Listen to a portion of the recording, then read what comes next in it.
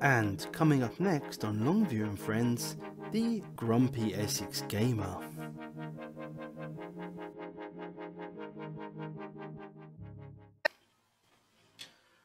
boot sales. Get up Sunday morning. I say, Charlene, make me a bacon sarnie. She makes it nice cup of coffee. We head out. We go to the booty. Leave the kids at home. They're alright, little ones, they'll do. Get there, think might buy a game, might buy a DVD. What do I find when I get there? Every fucking mug and cunt going. And they're all surrounding the sellers. All of them. They're there. Oh mate, give me a fucking Xbox for a tenner. Give me a PS3, bruv. I ain't fucking having none of it. I'm not scrounging around with the fucking rest of them. I tells ya. I watched them for five minutes, went and got myself a fucking donut instead. Next week, I don't think I'm gonna bother.